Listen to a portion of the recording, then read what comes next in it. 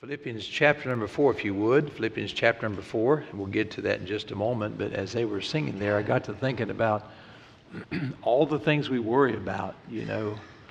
And uh, wouldn't it be great if we would learn, finally learn, to look to Jesus immediately, let Him carry that? And He is the one that gets us through. Someone once said, Worry's like a rocking chair. You go back and forth and you don't go anywhere. and uh, you can worry yourself into depression, despair, and um, most of what we worry about never happens. I, uh, I liked it. I was trying to think of that guy. It's not Tim Conway, but he, he was a psychiatrist on Bob who? Bob Newhart. Yeah, Bob Newhart. Real dry sense of humor. And uh, I, what years ago, back when I was a worldly person, I never will forget uh, watching one of those shows and these this man and woman just arguing over senseless stuff, and he just he just pulled out a sign and just said, "Stop it." I don't know if you just stop it. You know when you like to be able to just turn it off right there and turn off all the worry and all the woes and everything, and and uh, we can do that. We just don't years ago when our son was in college. I won't get this exactly right, Joel. You can straighten me out later, but he was telling a story. They were going down the road, and uh, there was four of them in the car. And the boy driving the car, his mother called uh, from the East Coast. I won't mention any names. No one in here. By the way, how many know it's hard to be a helicopter parent 2,000 miles away? It's just hard. You say, what is that? Be the president of a Christian school and you'll know what that is. Or ask Mr. Kramer, he'll tell you what it is. So she calls, and she was known to call a lot, and these boys knew her name. They knew all about it, and they, they would always tease this guy, Oh, your mom's going to call. Boy, you're going to be in trouble. How can you get in trouble 2,000 miles away? I'm just now finding out things my son did in college. He's been married for years. And she calls, and she, I don't know exactly what it was, but she was giving that boy a belly full. It was on speakerphone. These guys in the back were just, you know, just. And finally, one of them was forgot that they were on speakerphone. He said, "Let it die, Wanda. Let it die." well, that changed everything. I don't know if the guy about ran off the road, but uh, wouldn't you like to be able to just kind of turn the switch off, all the worry and all the all the compensation you have to make in your life because of that worry. And ladies, I have to tell you, I, I thought about that while you were singing. If you wanted God to touch my heart in that way, and uh, and really the answer is just give it to God. Just turn it over. He'll carry you through it. I appreciate that. Let's stand together, please, reading God's word. And just I'm actually going to chase a word through here tonight. If you'll be patient with me, I'm thinking about the home this evening, Mother's Day, and so my mind's on that. And I'm, i want to talk about just a topic, if I could, tonight. Look at verse number eight, a very, very familiar passage of Scripture. Philippians chapter 4, verse number 8. Finally, brethren, whatsoever things are true, whatsoever things are honest, whatsoever things are just, whatsoever things are pure, whatsoever things are lovely, whatsoever things are of good report. Now, these are virtues. These are these are, are, are life traits that are good. He says, if there be any virtue, if there be any praise, think on these things. Those things which you have both learned and received and heard and seen in me, do. So this is more than emotion. And God of peace shall be with you. That little phrase, if there be any virtue, if there be any virtue. I want to talk about that tonight, and I want to talk about the home in particular this evening and give you just a little idea about that. Let's pray. Father, help us in our homes to go find virtue in our lives. Maybe there are uh, single adults in here that they are their own home. May their home be filled with virtue as we learn about this tonight. Marriages full of virtue. Children they will be taught virtue. Help us, Lord, tonight to understand what you have for us, please. In Jesus' name, amen. Thank you. may be seated. if you would let me, I'd like to do a quick little Bible study here if I could. I want you to hold your place here. Turn, please, back to Luke chapter 8. Would you do that? Luke chapter 8. We find this word just a few times in the New Testament. And in Luke chapter 8, we have the story of the lady that was afflicted. She had an issue. She comes to the Lord, and you may recall she thought in her heart if she just touched the hem of his garment, the press was about him. I mean, people just shoving into him. And uh, verse number 45 of Luke chapter 8, we find these words. And Jesus said, Luke chapter 8, verse 45, and Jesus said, Who touched me? When all denied, Peter and they that were with him said, Master, the multitude throng thee and press thee, and sayest thou, Who touched me? And Jesus said, Somebody hath touched me. Watch this now. For I perceive that virtue is gone out from me. When the woman saw that she was not hid, she came trembling and falling down before him. She declared unto him before all the people for what cause she had touched him and how she was healed. Look at this next phrase healed immediately. And he said unto her, Daughter, be of good comfort. Thy faith hath made thee whole. Go in peace. Jesus says here, He says, I perceive, I feel in me that virtue has gone out from me. Now I want you to look one more place, if you would, in first, or excuse me, Second Peter, Second Peter chapter one. In Second Peter chapter one, we find this great truth here, and this is how we're to build our lives and add to several things. But it begins with something very important. He says in verse number 5 of 2 Peter chapter 1 verse 5 and beside this giving all diligence add to your faith. What's that next word? Say it. Virtue. And beside this giving all diligence add to your faith virtue and to virtue knowledge what is this I'm speaking tonight on this subject go find virtue and i want us to kind of search for that if you'd let me uh, say tonight, by way of definition, that virtue is a conformity to a standard of right. Some says morality, but it's much more than that. It is to be particular to moral excellence, a commendable or praiseworthy thing, such as quality, a trait, or purity. In Jesus Christ's sense, it is the power to do right, the possession of being right, and the power to do right. What good is it for you to have the possession of righteous living without letting that righteous living work out of you? And the power to do right. And uh, I want to talk about that uh, for just a while tonight. In Philippians chapter 4, the Bible tells us that we should be looking for virtue. Go find virtue. Sadly, most Christians find very little virtue. We are losing our Christian homes, our marriages. We're losing our churches to the world. Whatever happened to virtue? I was talking to somebody just the other day. They were talking about uh, called, a, called a church. They said, "What's it take to be a member in your church?" They said, "It's a very large church." They said, "We, we don't have membership. We don't have membership." He said, "Well, how do you tell who's?" Well, we just don't do that.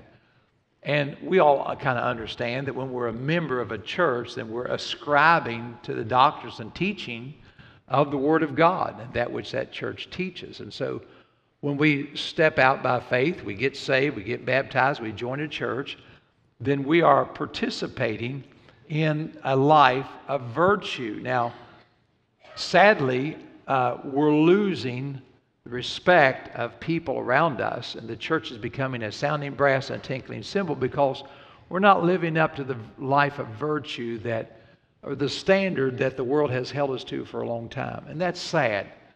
It's making, making it more and more difficult for us to stand out as the lighthouse that we need to be. So I want to talk about going to find virtue, if I could do this. And I said this earlier, let me say it again. Virtue is not an emotion, Virtue is an action. This is something, something that, uh, that we're to do. We could say, well, that person is just a lovely person. Well, that's not an emotion. There's action in being a lovely. That person's an honest person. Well, Just because you tell the truth every now and then doesn't mean that you're an honest person continually. So you're just known as an honest person. That makes it virtue. And on and on we could go. I want to talk about that. Number one, I want to talk about the doctrine of virtue. Would you jot this down, please? The doctrine of virtue. And we get this from Luke chapter 8 as we work our way through what Christ uh, said there to the lady. We find out that virtue comes from Christ. Virtue comes from Christ. That typo is my fault. I said virtue. Virtue comes from Christ, however you want to read it there, but you can correct it later. That's not the guy's fault up there. But virtue, this, this idea of power exuded from the Lord Jesus Christ. Again, Jesus was sinless, he was perfect. Little amen right there? So he is our standard for virtue. Don't measure yourself up to some preacher, some missionary, some good Christian lady, good Christian man. We are to measure ourselves up to Lord Jesus Christ and his word. So he has a possession of that virtue. And then he said this when that lady touched the hem of his garment, he said that that left him. What left him? There is a, there is a power that drained from him. So Jesus Christ was all powerful. And you and I are powerful through the fullness of the Holy Spirit of God. We're not Christ, but we have power. And so you and I should live our lives in such a way that this virtue can, can come from us to help others, which leads me to the next point. Uh, virtue affects those around you.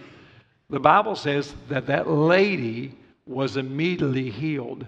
And there are others in that press of people that saw that happen. Can I get you to understand this? In the doctrine of virtue, one of the great reasons that you and I should live a life of virtue and discipline ourselves is so, so that we can be the testimony we need to be. Uh, it allows our light to shine, it gives us power uh, in our voice when we speak to others about the gospel.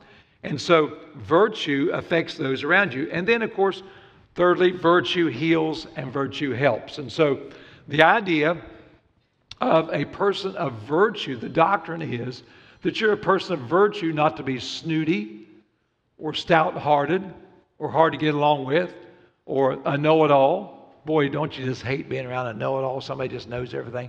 The purpose of being a person of virtue is so that you can help other people.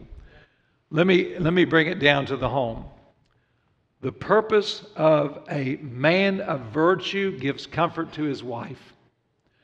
The purpose of a woman, a wife that is, that is a wife of virtue or virtuous, is to bring comfort to her husband. Now, watch this. When a man and woman have a home that there is virtue or righteous living, then that spills out on our children. Our children see that. Our children are comforted in that. Our children are not afraid of their, their home or marriage busting up. And so, uh, this, this thing of virtue, I think, really starts with uh, individual Christians, but goes into the home. And you and I should be people of virtue. Number two, I said I'd be short. Number two, I want to mention just briefly the destroyers of virtue. Who are the destroyers of virtue? Well, as a pastor's perspective, let me give you this. I think one of the leading destroyers of virtue in America and in the home and in marriages is the multi billion dollar entertainment industry. And I could spend a lot of time on this, but the music you listen to, the shows you watch, the, the, the media that you bring into your home, the media that you have on your phone is continually chipping away at the virtue in your home and before long, there is no standard of virtue. It's destroying us. When your children, when your children get to the place that their heroes are people with no righteous living and no purity, then you're, you've just about lost the battle with your kids. And for you to wind that back in with a teenager, it becomes very, very difficult. That's where you ought to do the old Barney Fife thing nip it in the bud. Nip it, nip it while they're young. Because when they become a teenager, by the way, a, a big help with that is keep them in church, keep them in a Sunday school class, keep them in a good our, youth group, and uh, just just just teach them, just get just inundate them with that which is right and get them around people uh, that are people of virtue. This, uh, I could name names here, I could throw off a lot of things and people, I'm not going to do that. But you ought to just stop and think about who or what is affecting your children. But before you do that, so you don't have any skeletons in your closet, you as a mom and dad, husband, wife, need to stop and ask the question who's influencing you? You know, it does you no good to jump on your child about whoever it is out there. I don't know who, who, who's swinging.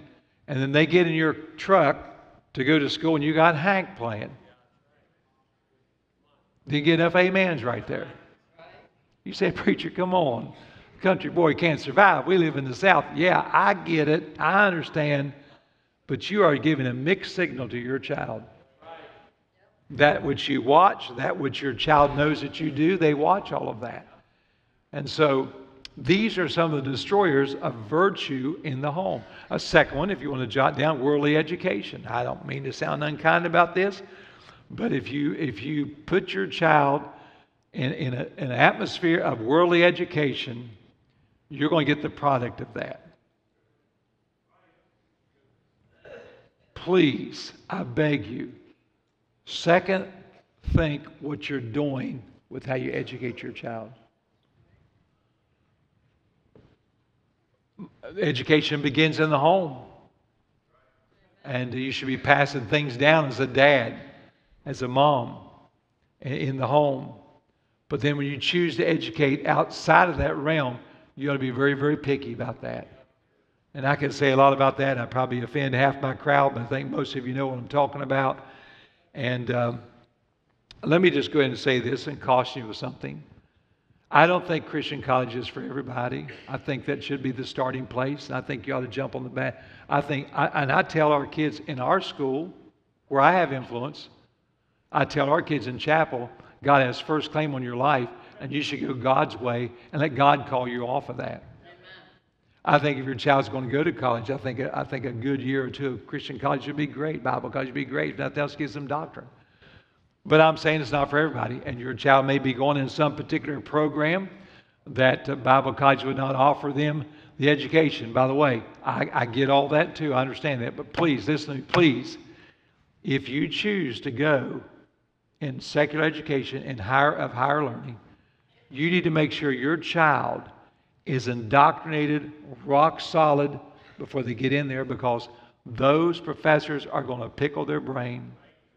And I know what you're saying. Well, we're going to go to this school and this school, this school. Do you understand who's setting the world on fire right now? And how in the world those students get that indoctrination? So I, I just want to challenge you. We're not going to have a church 20 years from now if we don't keep virtue in the home and virtue of righteous living in the lives of people we love. And then this last one the destroyers of virtue, the dysfunctional family. The dysfunctional family. The home can often have an unnatural divisiveness that is emotionally destructive. And it fights virtue. Marriages are split up. Sometimes we think the kids can handle it, the kids never handle it. They never. They compensate. They do the best they know how. Sadly, in the line of work that I'm in, I watch children go through a lot of emotional stress and trauma that is not their fault. And I want to challenge you as moms and dads to keep your marriages fresh. Um, I read a statistic late, just recently of the number of young people 14 years and down that go home to an empty house every night. One in five children in America under the age of 14. That's 7.7 million kids go home at night to an empty house. Moms and dads are either split up or gone or whatever. They make their own decisions. When they do that, they have little regard for authority. They answer to nobody. And that spills over into society, the community, and even the schools that they attend. And uh, they have very little understanding of this virtue of love and, and what is involved in human relationships because they have none. All that training starts in the home. Let me talk to grandmas and grandpas for just a minute. My mom and dad, my mother's a stay at home mom, and I know everybody can't be that. I understand that. My dad went to work, the factory came home, mom was there. We had a family unit. But our, our grandparents are still living, and they had a huge influence in shaping our lives. I often talk about my grandpa Turner. My grandpa Norris worked a lot, and they lived further. They lived about an hour from us, and so it was harder for us to be around them. But all of them influenced our lives. And can I say this? That grandparents, especially being in an old, older generation, can teach virtue to your kids, to your grandkids. Do you know your grandkids will know very little about gardening, very little about digging a ditch? They'll learn, they'll, they'll know hardly anything about farming or cattle or anything like that. Uh, and, and can I say that those little stories you tell influence? And any time that you can you can put action to that by taking them somewhere or showing them something, you know, I think personally, this is my personal opinion, I think every young boy from the age of, let's just be a little higher so you don't think it's child labor law, but at least age 12 to age 16 ought to go somewhere every summer and pitch square bales onto a hay wagon. Not 40, a thousand. I think they ought to have to get up in the top of that barn, not have an elevator to bring the hay up, but to back the truck up there and keep stacking hay in that old hot barn until the, the load got so low that a good strong back boy would throw that bale up there. I don't remember how much they weighed. I, I can tell you that a wet bale weighed a whole lot. But I think everybody, I, I just think that that's, it's just, it's virtue. It's a work ethic that's left us. How many of you men have ever, have ever worked in the hayfield? Would you put your hand up? Worked in the hayfield. Glory to God. Hold. Why is all your hair gray? now I know we have round bales now and all that's of the devil and straight out of hell. That's there's just no way that a cow would ever eat a round bale. Uh, but but um, our families have they've, they've lost all that. If all if all we ever have is this, we're in a heap of trouble. When the Russians and the China, China, whatever happens, oh, Google it. Number three, write this down. These are destroyers of virtue. Number three, I want to consider lastly, we need a desperate search for virtue. He says, if there be any virtue, if there be any virtue. And I want to challenge you with this. Moms, dads, go look for virtue. Look for it.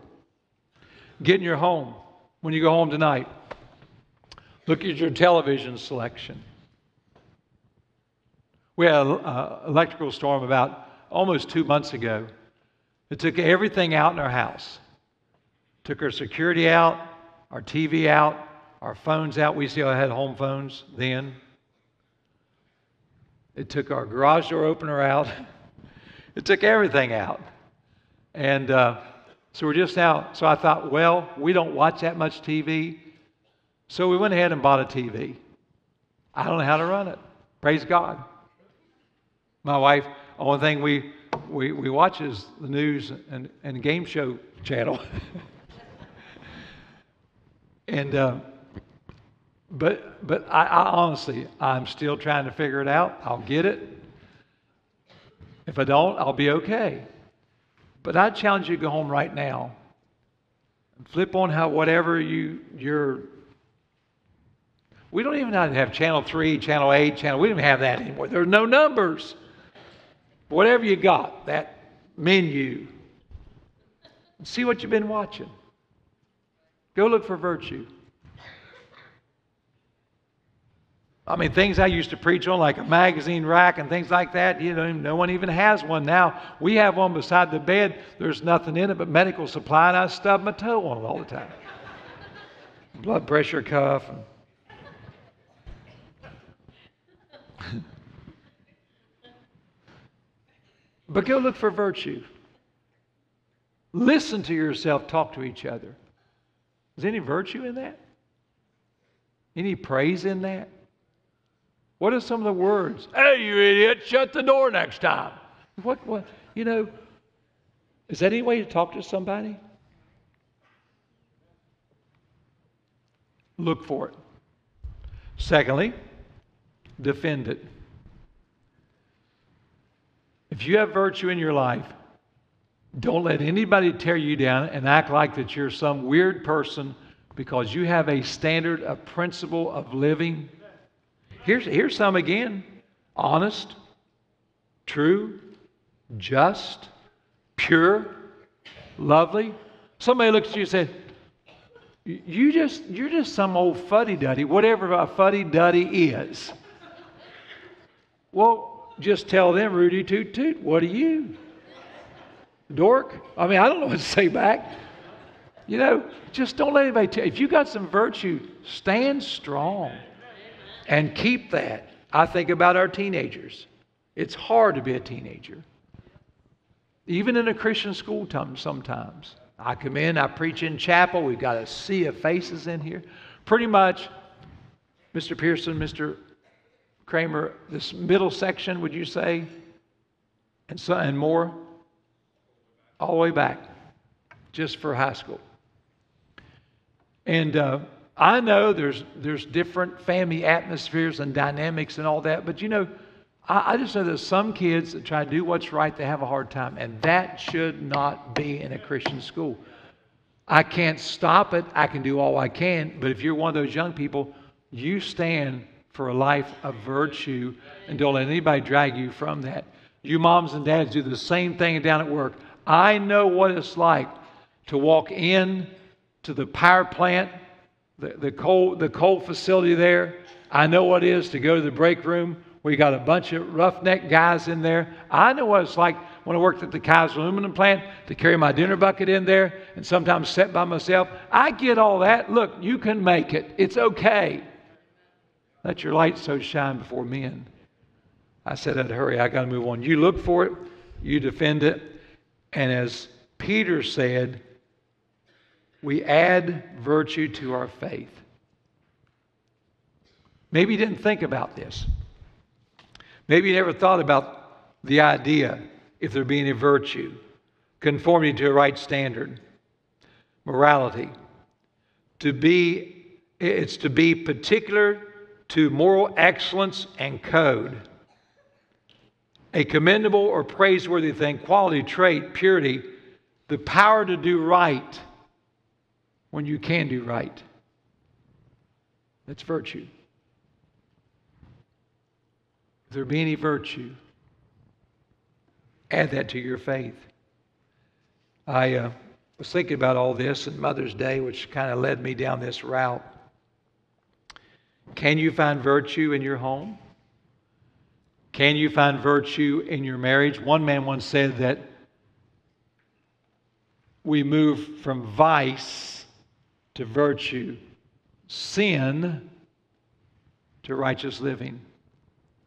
In your life, a lot of people bring a lot of vice into the marriage. They'll bring unsaved people get saved and they've got vice in their home, they got to get out.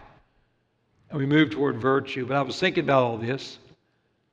And I have found that women in particular, as keepers of the home, are generally the protectors, and you might say, define the prospectors of virtue. It don't need to be that way. You dads ought to be able to take your stand in the home in the right kind of way. And uh, but I, I found, and don't don't go home put your wife in charge of virtue in the home because that's what preacher said. I'm just saying they're defaulted to do that because the husband will not take charge. There's a right way to do that and a wrong way to do that. But typically it's the ladies that said, ah, ah, ah, get that out of here. Get it out. I watched my mom bring the mail in, stand at the trash can, just start pitching stuff. Get the bills out, pitch stuff. And uh, moms, y'all know what's right. Dads, y'all know what's right. But make sure you're looking for virtue. You keep virtue in the home, virtue in your marriage. Let's go find virtue.